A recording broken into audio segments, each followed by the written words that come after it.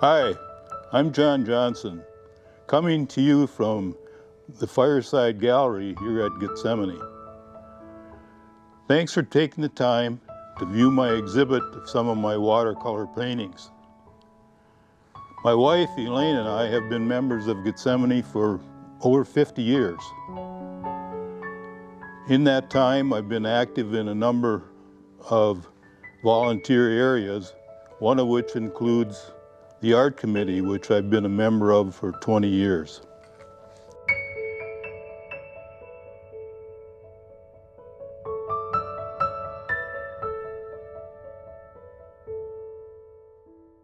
One of the things that happened shortly thereafter was I changed jobs and the new job began to involve a fair amount of travel. And I found that uh, one way to pass time in the hotel room was to sketch. Eventually, I bought a watercolor set and a sketchbook, and I began to painting watercolors in my hotel room. And all of the paintings that are labeled as sketches are sort of a, what I'm going to call the Fairfield collection.